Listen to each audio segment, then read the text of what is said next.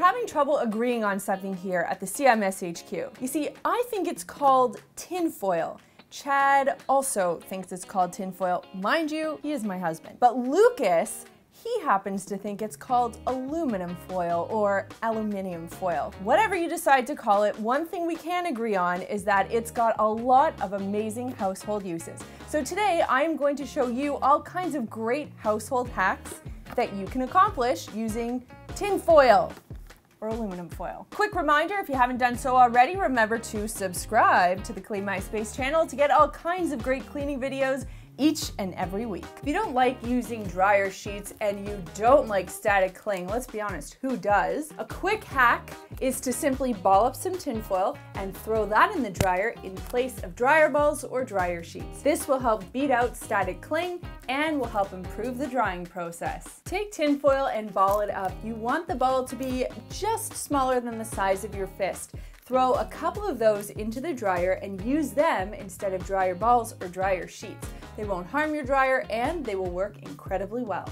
Here's one of my tried, tested, and true dryer balls. You can see I've been using this one for a while. Either way, I like this hack a lot and I think you should give it a try. Let's say you wanna make one of our awesome DIY cleaning recipes, but you don't have a funnel. Rather than funneling your frustration into getting a lot of stuff into a little opening, you can just make your own funnel using a little bit of tinfoil. Take a piece of tinfoil and fold it in half. Then you wanna find something to use for a mold for your spout.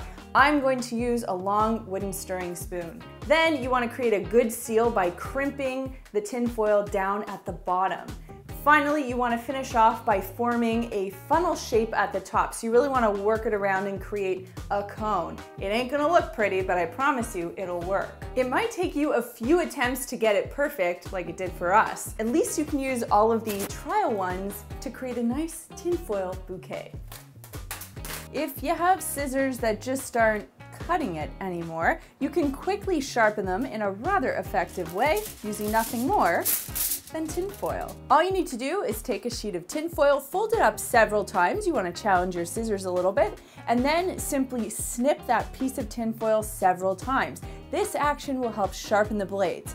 And then you can get back to the important business of cutting. Sizzling bacon, what a sensual experience. Not only does it sound amazing, it smells amazing. However, once the bacon has been taken out of the pan, you've got to deal with that bacon grease. And obviously you can't dump it down the sink, you don't wanna cause any clogs, and you don't wanna put it in a plastic container, and let's say you don't have a tin container to put it in, you can use tin foil to quickly and effectively store that hot grease. Take a piece of tin foil and line a bowl with it. Then carefully pour the grease into that lined bowl.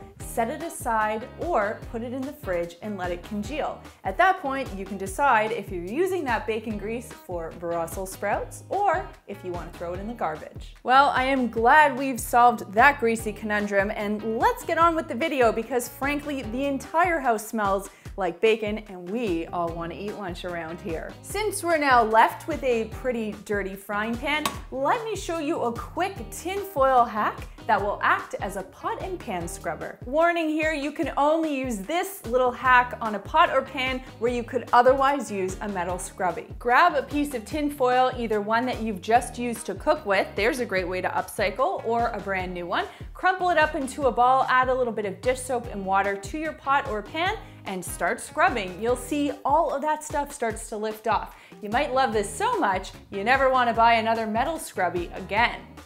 Resident pot washers take note. This trick actually worked incredibly well. It certainly exceeded my expectations, so I hope you give it a try. Many things in our house run on AA batteries. The issue is because so many things rely on them, we happen to run out of them a lot quicker than we would say AAA batteries. There is a cool little hack that you can do involving nothing more than a AAA battery and a little bit of tin foil to turn this into a AA battery when you're in a pinch. Crumple up a small piece of tin foil and place it over one of the ends of your AAA battery. Then just pop it in like you normally would, your AA battery, close up your item and use it as you normally would. This is a great band-aid solution that'll help you out when you're in a pinch.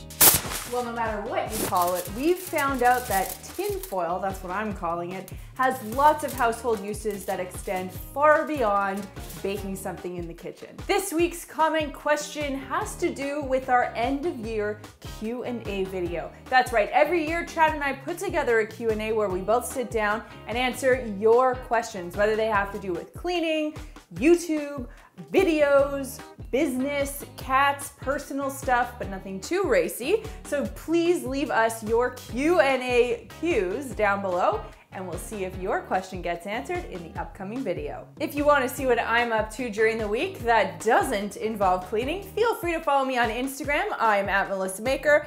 The guy who ate copious amounts of bacon, he is at the Chad Reynolds and we are at Clean My Space. There's a button down there that lets me know you care, so click it if you liked this video and click this button right here to subscribe and begin your journey to a cleaner life.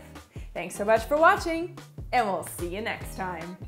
It's that special time of the week where I get to throw you to two other videos I think you're going to love. And because you seem to be interested in hacks, I have a couple of hack videos I want you to check out. The first one is the first set of five cleaning hacks that we came up with. Trust me, they're ingenious. And because that video did so well, we came up with the second hack video that I also want you to check out. You are gonna be cleaning so much faster and so much better by virtue of the fact that you check out those two videos. Remember, you can also visit us on our website. It's cleanmyspace.com. We've got links for it down below. Make sure you check it out to get all the latest and greatest in cleaning news. And you can also sign up for our newsletter, The Dirty Dish. Thanks so much, guys, and I'll see you next week.